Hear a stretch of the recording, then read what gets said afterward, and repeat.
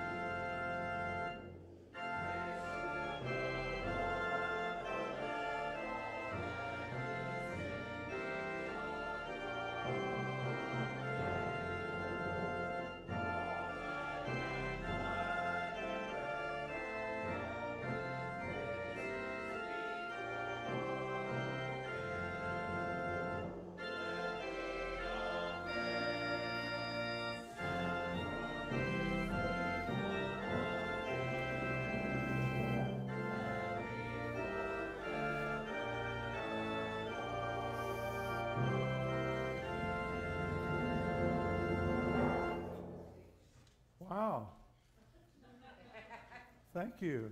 You've got a great organist here. Good morning. My name is Barry Kubler. I've been here before. For those of you who have not been here when I have been here, I'm from down the road a little piece, uh, St. Peter's, Plant City. I'm retired. I just live in that area. But it's a delight always to come back at Jim's invitation, so I thank him for that. And it's good to see you all this morning. Glad to be here with you. Most of what you need is right here in this bulletin. So let us begin. Blessed be God, Father, Son, and Holy Spirit.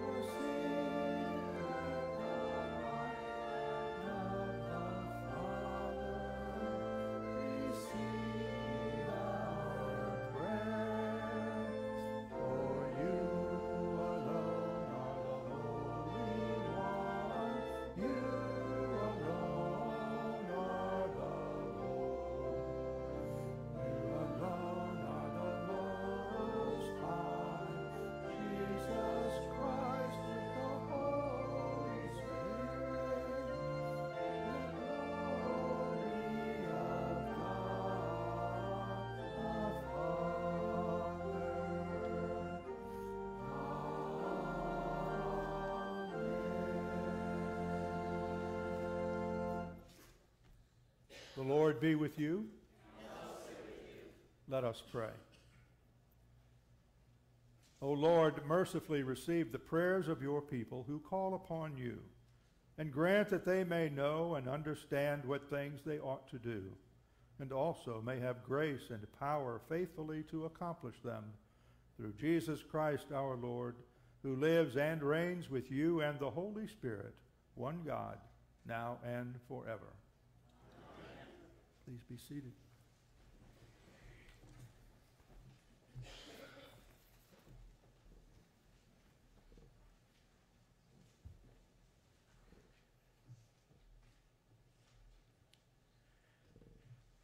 A reading from the book of Deuteronomy. Moses said to the people of Israel, The Lord your God will make you abundantly prosperous in all your undertakings, in the fruit of your body, in the fruit of your livestock, and in the fruit of your soil. For the Lord will again take delight in prospering you, just as he delighted in prospering your ancestors when you obey the law, Lord your God by observing his commandments and decrees that are written in this book of the law, because you turn your, to the Lord your God with all your heart and with all your soul. Surely this commandment that I am commanding you today is not too hard for you, nor is it too far away. It is not in heaven that you should say, Who will go up to heaven for us and get it for us, so that we may hear it and observe it? neither is it beyond the sea, that you should say, Who will cross to the other side of the sea for us, and get it for us, so that we may hear it and observe it? No, the Lord, the word is very near to you. It is in your mouth and in your heart for you to observe. The word of the Lord. Psalm for this morning is Psalm 25, verses 1 through 9 in the bulletin insert on the bulletin and uh, on page 614 of the Book of Common Prayer. And we'll, I'll read to the half verse and the congregation will finish the verse. To you, O Lord, I lift up my soul. My God, I put my trust in you.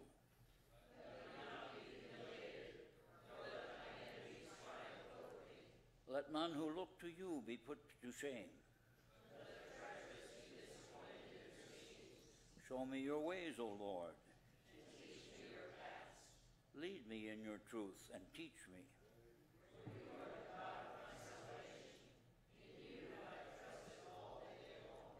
Remember, O Lord, your compassion and love.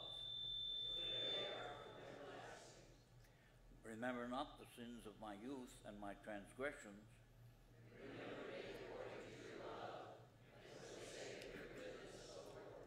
Gracious and upright is the Lord. He, guides the humble in doing right. All the paths of the Lord are love and faithfulness.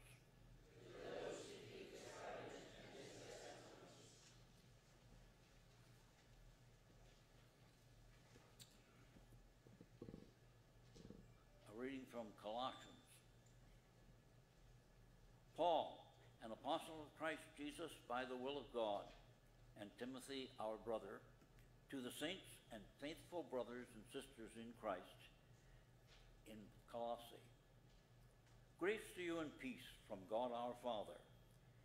In our prayers for you, we always thank God, the Father of our Lord Jesus Christ, for we have heard of your faith in Christ Jesus and of the love that you have for all the saints because of the hope laid up for you in heaven. You have heard of this hope before in the word of truth, the gospel that has come to you. Just as it is bearing fruit and growing in the whole world, so it has been bearing fruit among yourselves from the day you heard it and truly com- comprehended the grace of God. This you learned from Epaphras, our beloved fellow servant he is a faithful minister of Christ on your behalf, and he has made known to us your love in the Spirit.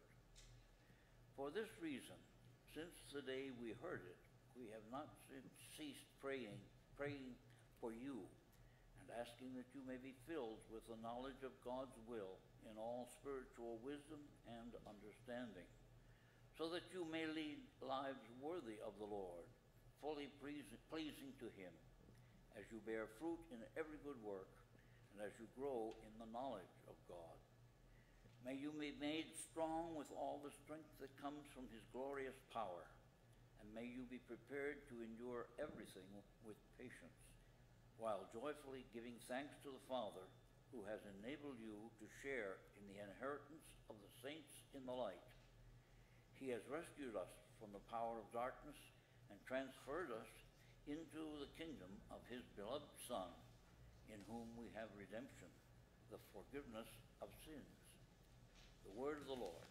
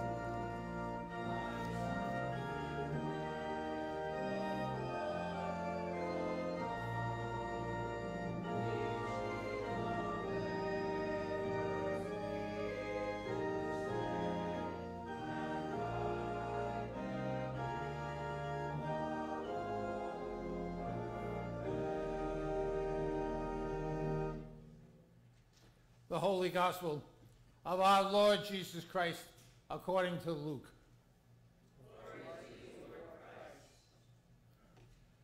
Just then a lawyer stood up to test Jesus. Teacher, he said, what must I do to inherit eternal life? He said to him, What is written in the law? What do you read there?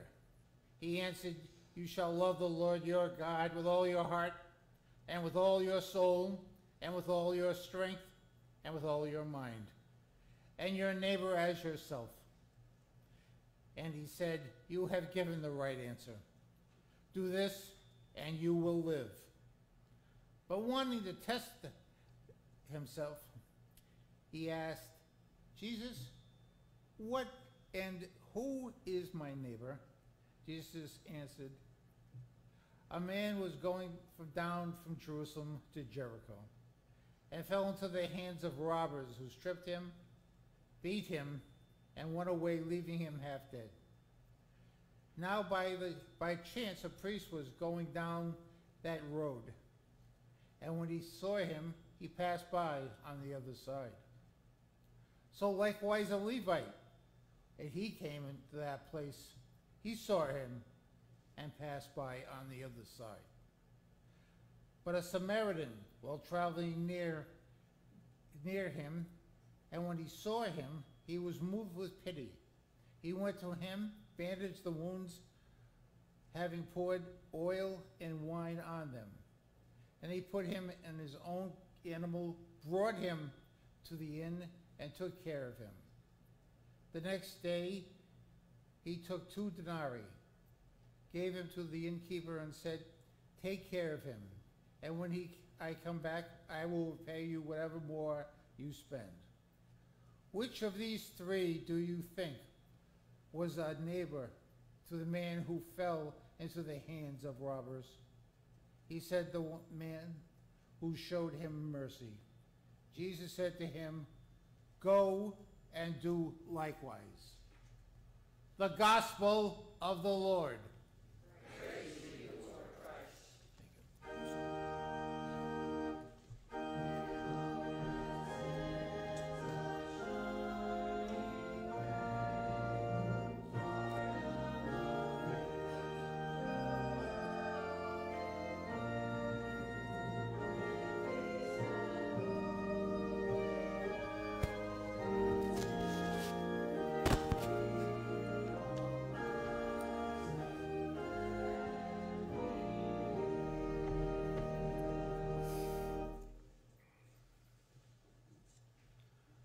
The name of God, the Father, the Son, and the Holy Spirit.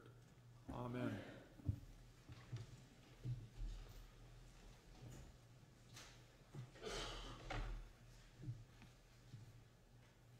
Is there anything in this story that we heard this morning about the Good Samaritan that you've not heard before? Anybody? Everybody knows the story, don't they? You've heard it at least once or twice or maybe a hundred times. I believe it's safe to say the Good Samaritan is a story we've heard more than once or twice and we're pretty familiar with. At least that's what we might think, right? Isn't that always the truth about something we've heard so many times? We think we know the story. We've got all the pertinent points. We've, you know, brought them inside of us, so we were pretty, we're pretty confident that this story is something we've got a good handle on. Well, my brothers and sisters, this morning I'd like you to set aside any familiar understandings or preconceived ideas that you might already hold about this story. No matter what the story is, the Good Samaritan or another story, if we hear it often enough, we tend to sometimes find ourselves in a rut with respect to how we understand it. Context is important. My home church, if you will, is St. Peter's in Plant City. And uh, the many times that I've had occasion to preach there and to lead Bible studies, etc., etc., the folks at St. Peter's will be quick to tell you that one of my favorite words is context. Context is so important in life, not just biblically or a sermon or whatever, a story we might have heard before, but in all of life. Context is important. Every one of you here has a context in their life that is different from the person sitting next to you. Context is important. And the story of the Good Samaritan deserves our understanding of its context in order to truly understand what Jesus is saying to us today. As we know, the story begins this way. A certain man was going down from Jerusalem to Jericho, and he fell among robbers, who both stripped him and beat him and departed, leaving him half dead. Some years ago, I was blessed to have spent a month in the Holy Land. I traveled the length and the breadth of Israel, what many people call the fifth gospel, the geography, the place in which Jesus was raised, all the important biblical stories that we know in the gospels about Jesus and his ministry, right there in the Holy Land. The fifth gospel. There is a there is a holiness about the place itself, especially when you walk in Jesus' shoes, where you've been to the places that are described in those many stories. In the first century, during Jesus' time, the old road from Jerusalem to Jericho was little more than a winding up and down treacherous path. When the Romans took over, they had completed some work on it, widening it enough to accommodate some chariot traffic. Even today, you need to pay attention to what you're doing if you're going to drive that same route. It goes around one hairpin turn after another descending over about a 17 mile trip, about 1,300 and some feet. In Jesus' day, that route was known as the Bloody Way because of all the stories told of thieves and robbers lurking behind rocks and bushes. Muggings along the road were numerous, very common. And the story continues. By chance, a certain priest was going down that way. When he saw the man who had been beaten lying on the side of the road, he passed by on the other side. Now, at first thought, it would be tempting for us to be critical and come down really hard on the priest. After all, you'd think of all the people in the world, the priest would be the first one you'd think who would stop and render aid to a beaten man. But remember, Context is important. This was the first century. The priest's job in the first century was principally a sacramental one. His primary duties were performed in the temple. Priests were not expected to perform manual labor or to be involved in what were considered the unclean tasks of nursing the sick and the wounded. And if the man was indeed dead, and the priest so much as touched him, he would have been considered unclean. And the law required that the priest would then have to isolate himself for seven days. Something about what's going on in the world today reminds me of that. Which also reminds me of another story in which a man is said to have been as good a man as he knows how to be. Anybody ever heard that before? He was as good a man as he knows how to be. So, given the times and the circumstances, the religious understanding of a priest's duties and responsibilities, we might want to just cut him a little bit of slack. He was just doing his job, on his way from the temple in Jerusalem, perhaps to the synagogue in Jericho, back home to see his family. We don't know for sure. In any case, his responsibility was to be a priest, to reserve his time and his efforts to priestly duties, which required that he keeps himself ritualistically clean. He was as good a man as he knew how to be. With his training and the responsibilities of his office, he wouldn't have given a second thought to avoiding a victim lying by the side of the road. If anything, he would have made a conscious effort maybe to just cross over, keep his distance. And the story continues. In the same way, a Levite, when he came to the place, saw the man lying on the side of the road, passed by on the other side. Well, here, my brothers and sisters, uh, I think we have a, a place where we need to sort of level the playing field a little bit. Levites were also officials of the temple, those subordinate to the priests. When the 12 tribes of Israel were first established, the tribe of Levi was set apart to tend to the priestly functions. Over time, as they do, things changed. Responsibilities were shared. But the Levites were able to maintain their close connection with the inner workings of the temple. In Jesus' day, one of the things Levites were responsible for was the temple treasury. They got to count the money, make the budget, make sure things were paid for. So here was a Levite, perhaps one of the treasurers of the temple. We don't know that for a fact, but perhaps, possibly carrying a large sum of money on his way from Jerusalem to Jericho.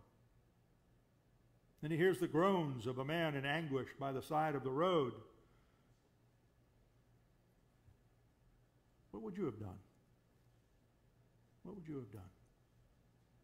A common ploy of thieves in those days was to have someone pretend to be hurt, thereby luring an unsuspecting traveler to their side where others would be waiting and hiding. The thieves would accost them, beat them, rob them, and if the traveler was lucky, leave them alive. Well, my friends, the use of such ploys is still something that occurs today. Situational awareness is just as true and important today as it was in Jesus' time. You have to be careful. I remember my mother and father and grandparents would tell me that on occasion. Be careful. Mind yourself. So, if you're willing to give the priest a break for failing to stop and render aid to the man's lying on the side of the road, we might want to go a little bit easy on the Levite as well, don't you think? All things being equal, we're likely to have done the same thing. Then Jesus goes on to say, But a certain Samaritan, as he traveled, came where the man was. And when he saw him, he was moved with compassion.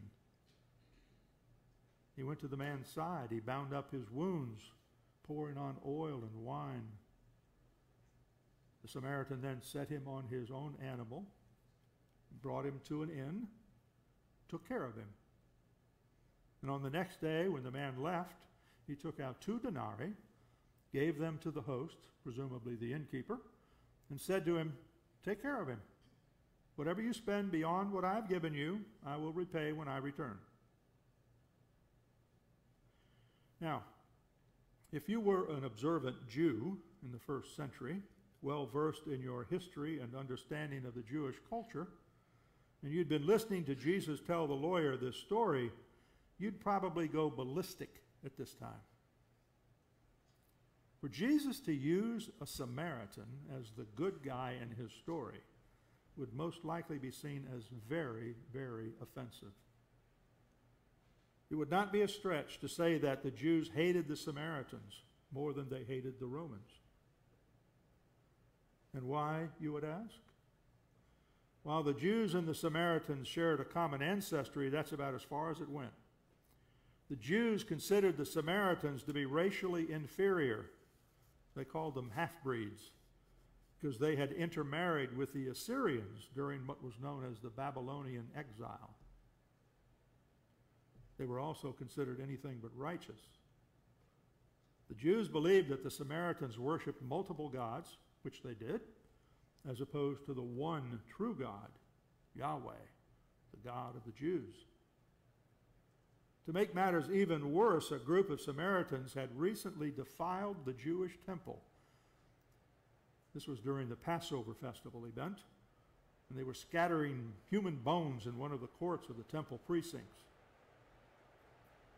Now, you put all of that together, and you can understand why the Jewish Mishnah, a commentary, if you will, taught that, and I quote, He that eats the bread of a Samaritan is like the one that eats the flesh of swine. End quote. We know what the Jews thought about pigs, right? They don't eat pigs. They don't even touch them. They don't even come near them. So you can just imagine the reaction when Jesus told this story. To make the hero a Samaritan was a slap in the face to any upstanding Jew. That is why, when Jesus goes on to ask the lawyer, Now, which of these three do you think seemed to be a neighbor to him who fell among the robbers? Question mark. The lawyer couldn't even bring himself to saying the word Samaritan. Instead, he mumbles under his breath, Well, the one who showed mercy to, I guess. My brothers and sisters, the parable of the Good Samaritan exposes the prejudice of the Jewish people in Jesus' day. It undermines their tendency to judge who's worthy of God's love and who is not. Contrary to the belief of Jesus' day, it was not the priests or the Levites or even the Jews who held the inside track on the kingdom of God. Rather, it was whoever God chose to call. It's God's choice, not theirs. Including, I might add, some lowly Samaritans, if God so chooses. To this day, this parable screams, literally screams at us Gotcha. Gotcha. As we are confronted face to face with our own self righteousness. But for the writer of Luke's gospel, even that was not enough. He presents the parable in the context of an encounter between Jesus and a lawyer. He takes it one step further. Well, let's sort of replay the tape a little bit. A lawyer who is intent on trapping Jesus provides him, he thinks, with a test. He asks Jesus what he had to do to inherit eternal life. Jesus responds by directing the question back to the lawyer, saying, What's it say in the law? How do you read it? And the lawyer answers the question by quoting the great commandment You shall love the Lord your God with all your heart, with all your soul, with all your strength, with all your mind, and your neighbor as yourself. Now, we might rightly assume Jesus doesn't have any quarrel with that response. Would you all agree? I would. He says, You have answered correctly. Do this and you will live. Whew. Good answer, says the lawyer. But the lawyer, he doesn't stop there, trying to, as the scriptures tell us, to justify himself. He then asks Jesus, a follow up question Who is my neighbor? That question then provides Jesus with the opening that he needs to tell the story of the Good Samaritan. Beginning by saying a certain man was going down from Jerusalem to Jericho, etc., etc. In that context, my friends, the parable catches us in a trap of our own making. Love the Lord your God with all you've got. Yeah, I agree with that. Love your neighbor as yourself, and you'll have eternal life. I'm right there with you, Jesus. I'm all for it. Count me in. But first, tell me who is my neighbor. Uh oh. Define the parameters. Tell me who's in. Tell me who's out. Specify the limits for me, will you please? Be concrete, black and white. Then I will know precisely what I have to do to measure up, to be righteous, to justify myself. We're digging that hole deeper. Like that lawyer, we find ourselves wanting to define neighbor in reference to others. Jesus says no to that. He says the only way to define your neighbor is in reference to yourself. Yourself. He places the burden of proof on us. For Jesus, our neighbor is not the object of the sentence, the subject. The subject. The question isn't who is my neighbor, but rather what kind of neighbor are we? Or to put it differently, the neighbor Jesus was talking about was not the man on the side of the road at all, but the voice, the conscience that we have speaking to us within our hearts as listeners in both the first century and in the 21st century. Wow. That's a wake up call. Now the judgment's on us. How did that happen so quickly? What kind of neighbors are we? And if that sounds familiar to you, it should. My brothers and sisters, the bottom line to understanding the good news embedded in the story of the Good Samaritan is pretty straightforward. It's a baptismal one. When we set aside our assumptions and natural tendencies to want to make Jesus' story work for us, we come face to face with the responsibilities that we committed ourselves to when we were baptized. Remember your baptismal covenant? Somewhere around page 302 in the Book of Common Prayer. So listen once more to the beginning of Jesus' story. A man was going down from Jerusalem to Dade City and fell into the hands of robbers who stripped him and beat him and went away, leaving him half dead. Now I ask yourself, yourself and myself, how are we going to respond the next time that we cross paths with someone in need? What kind of a neighbor will we prove to be? Amen.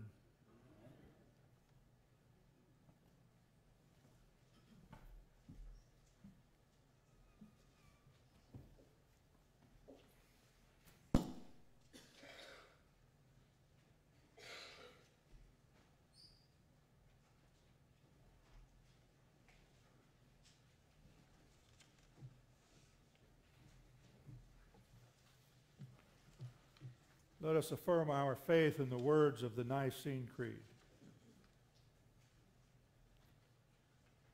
We believe in one God, the Father, the Almighty.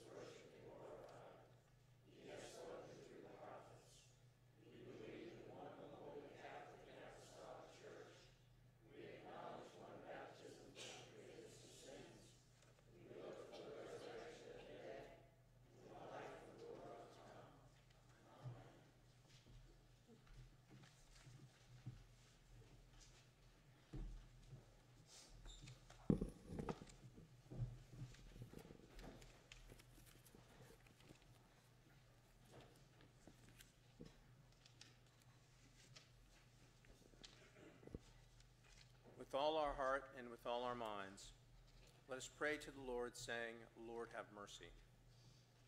For the peace of the world, for the welfare of the Holy Church of God, and for the unity of all peoples, let us pray to the Lord. For our Bishop Dabney, for all the clergy and people, let us pray to the Lord.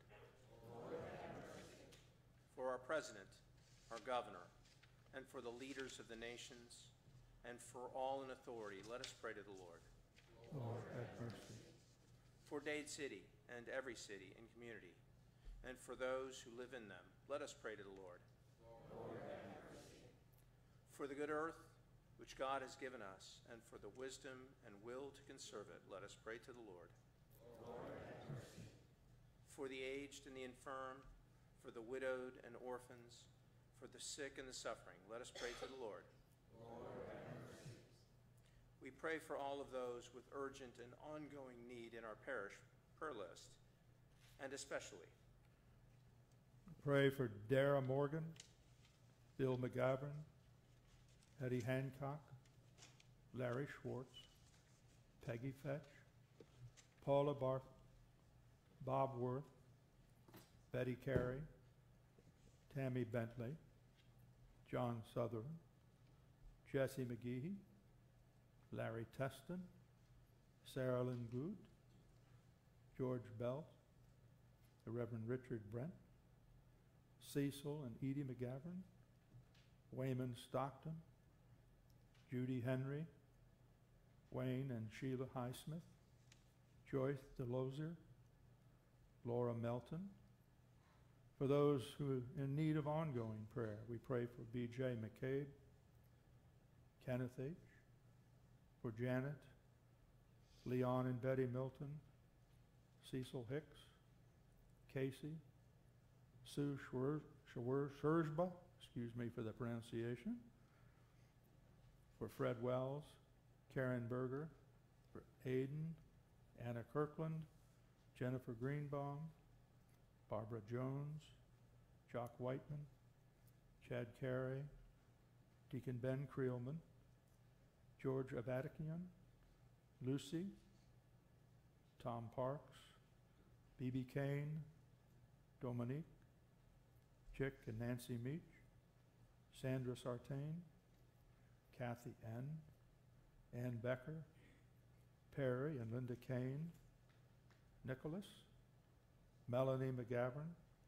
Jack Finnerty, Eddie Solt, John Harrison, Susan and Olivia, Edward Kovula, B.J. Croft, Molly McKenzie, Joe Heffen, Jean Kredinsky, Chris Correa, Noah, Jerry and Diane Rice, Jenna Coltree, Garrett, Terry and Denise McKenzie, Robert Alfonso, Dave and Marcy, Jim and Janice Tab, Brent Price, Jim Bailey, Dave and Marge Moffett, Debbie Quinn, Carol Thiel, Al and Diane Healer, Barbara Toole, Paul W., Eric and Jeannie White, Myrna Belden, Rose Newman,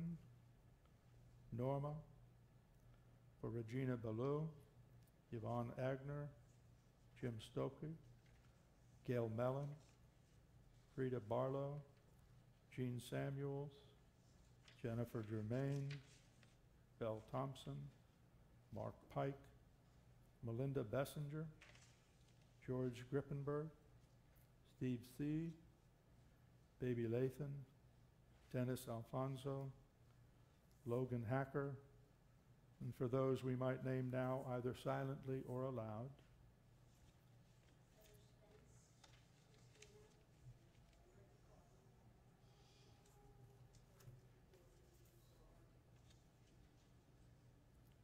let us pray to the Lord.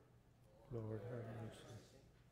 For the poor and the oppressed, for the unemployed and the destitute, for prisoners and captives, and all who remember and care for them, let us pray to the Lord. Have mercy. For all who have died in the hope of the resurrection, and for all the departed, let us pray to the Lord. Lord, have mercy. For the deliverance from all danger, violence, and oppression, and degradation, let us pray to the Lord. Lord, have mercy. That we may end our lives in faith and hope without suffering and without reproach, let us pray to the Lord. Lord, have mercy. Defend us, deliver us, and in thy compassion protect us, O Lord, by thy grace. Lord, have Lord, mercy. have mercy. In the communion of the ever-blessed Virgin Mary and all the saints, let us commend ourselves and one another and all our life to Christ our Lord. To thee, O Lord, our God. Let us confess our sins against God and our neighbor.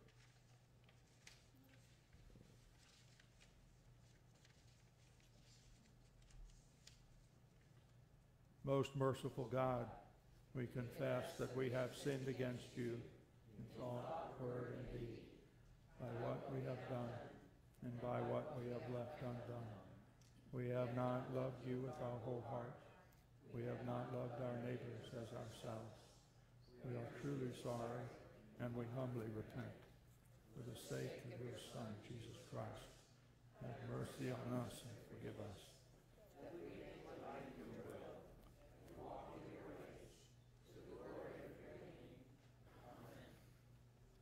Almighty God, have mercy on you forgive you all your sins through our Lord Jesus Christ, strengthen you in all goodness, and by the power of the Holy Spirit keep you in eternal life. Amen. Please stand. And my brothers and sisters, the peace of the Lord be always with you.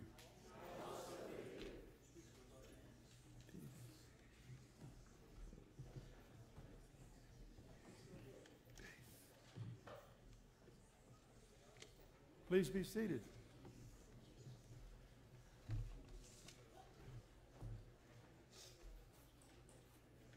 Is there a designated announcement person, or does that sure fall to me? I think I know the answer to that question. All right, well, here's my, here's my answer to that question. Do you all know how to read? Is there anything in the bulletin today that you do not understand? Is there anything not in the bulletin today that we might need to refresh people's memories about? Anyone? Perfect, you passed that test. However, we do need to acknowledge some special things like birthdays and anniversaries. Are there any who have a birthday or an anniversary we need to celebrate today? We did at the early service. We have one back here? Oh, yeah, you need to come all the way up here with me. We're going to make an example out of you. Anyone else? You're just not sane. Okay. Well, how are you? How old? I know, I said, how are you? I'm fine. But since you asked, how old are you? I'm gonna be 71. You'll be 71. God bless you. That's terrific. Yeah. 70 is, 70 is a popular decade because we had three people this morning that were all in their 70s. I'm going to be 75 in about two months. There you go. Yeah, see, we're in the same decade. Mm-hmm. That makes us brother and sister. All right, I'm sure there are others as well, so let us pray. Most gracious and heavenly Father, we thank you for this gift, the gift of birth, the gift of all the opportunities, hopes, and dreams that you bring with us into this life. I thank you for that gift, and I ask that you continue to provide that gift, that understanding, and that that wonderful guidance that you have offered here in these 71 years. Continue to be with her. And Lord, we ask this through the gift of your Son, Jesus Christ, and the power of the Holy Spirit he leaves with us. And in his name we pray. Amen. Happy birthday. Thank you.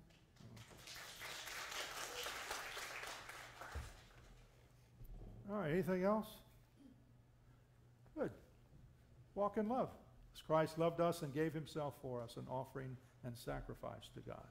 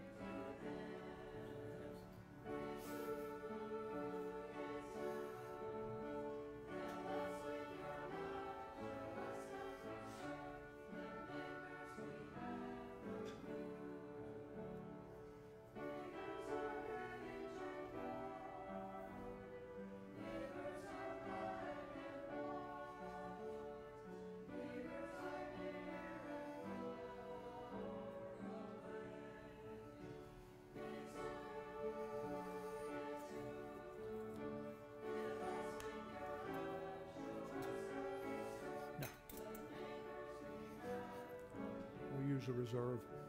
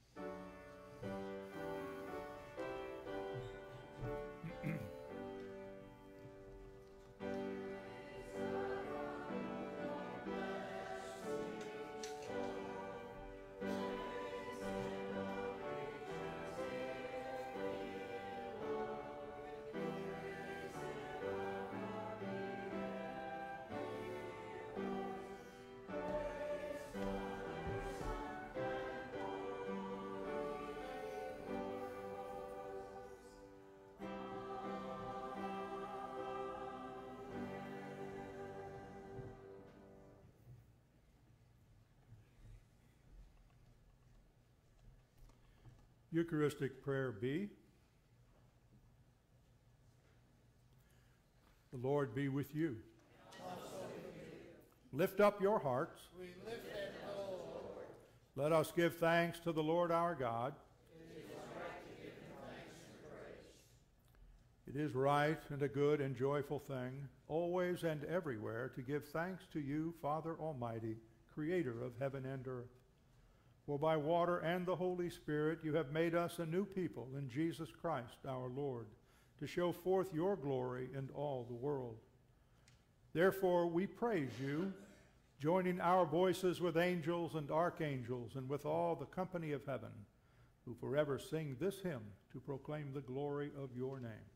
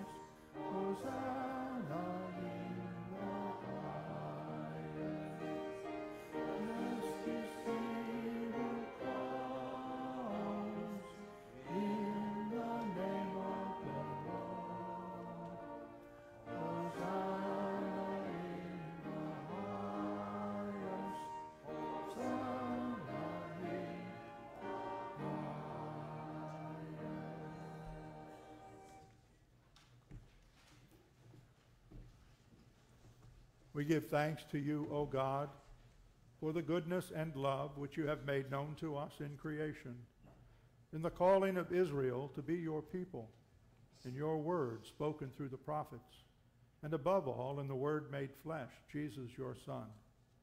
For in these last days you sent him to be incarnate from the Virgin Mary, to be the Savior and Redeemer of the world. In him you have delivered us from evil and made us worthy to stand before you. In him you have brought us out of error into truth, out of sin into righteousness, out of death into life. On the night before he died for us, our Lord Jesus Christ, took bread. And when he had given thanks to you, he broke it and gave it to his disciples and said, Take, eat, this is my body, which is given for you. Do this for the remembrance of me.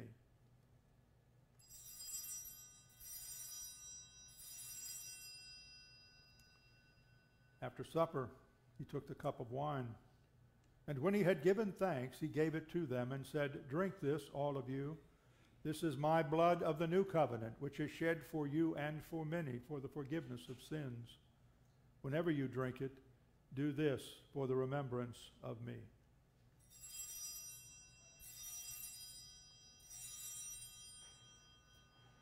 Therefore, according to his command, O Father, we remember his death, we proclaim his resurrection, we await his coming in glory. And we offer our sacrifice of praise and thanksgiving to you, O Lord of all, presenting to you from your creation this bread and this wine. We pray you, gracious God, to send your Holy Spirit upon these gifts, that they may be the sacrament of the body of Christ and his blood of the new covenant. Unite us to your Son and his sacrifice, that we may be acceptable through him, being sanctified by the Holy Spirit. In the fullness of time, put all things in subjection unto your Christ, and bring us to that heavenly country, where with the blessed Saint Mary and all your saints we may enter the everlasting heritage of your sons and daughters, through Jesus Christ our Lord, the firstborn of all creation, the head of the church, and the author of our salvation. By him, and with him, and in him, in the unity of the Holy Spirit, all honor and glory is yours, Almighty Father, now and forever. Amen.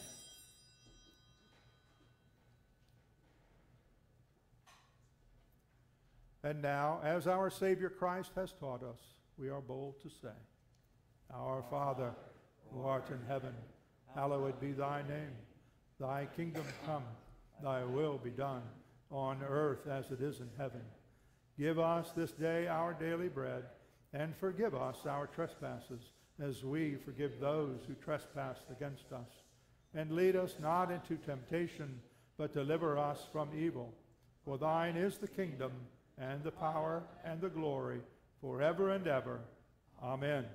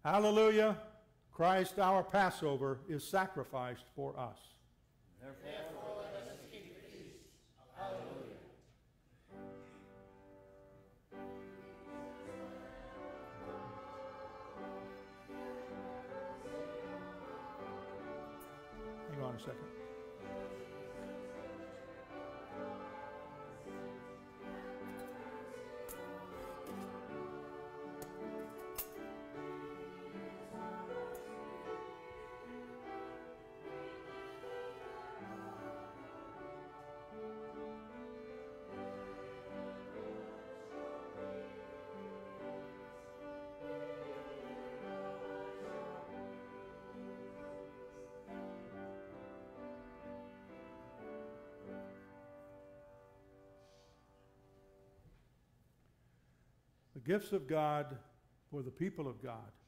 Take them in remembrance that Christ died for you, and feed on him in your hearts by faith with thanksgiving.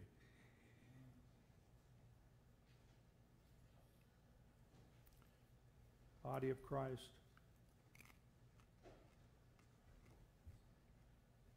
Blood of Christ.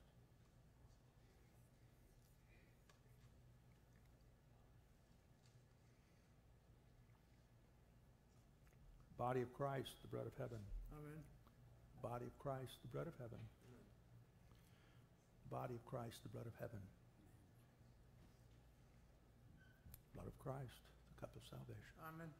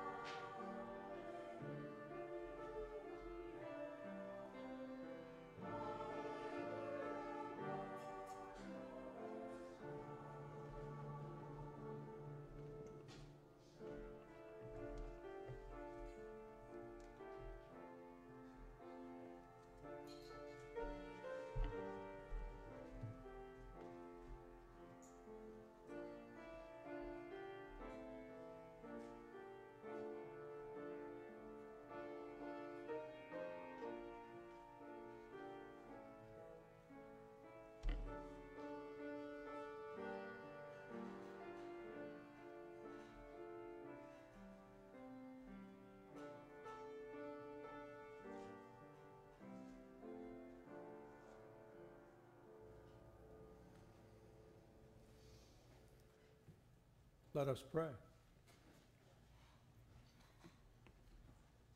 Almighty and ever living God, we thank you for feeding us with the spiritual food of the most precious body and blood of your Son, our Savior, Jesus Christ, and for assuring us in these holy mysteries that we are living members of the body of your Son and heirs of your eternal kingdom. And now, Father, send us out to do the work you have given us to do, to love and serve you as faithful witnesses of Christ our Lord. To him, to you, and to the Holy Spirit be honor and glory, now and forever. Amen. And the peace of God, which passes all understanding, keep your hearts and minds in the knowledge and love of God and of his Son, Jesus Christ our Lord. And the blessing of God Almighty, the Father, the Son, and the Holy Spirit be upon you now and forever.